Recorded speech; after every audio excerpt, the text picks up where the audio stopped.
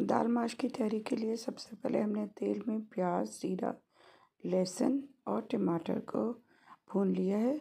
तमाम मसाले यकजान हो जाएँ तो इसमें दाल डाल के इसे दो गिलास पानी के साथ भून लें और लीजिए। लजीज, दाल माश तैयार है।